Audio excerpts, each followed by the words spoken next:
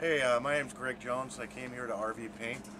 Uh, my motorhome was starting to peel up on the top cap of my motorhome, and I brought it in and had them paint it and uh, clear coat it. They did the front cap and all the way around. It did an outstanding job.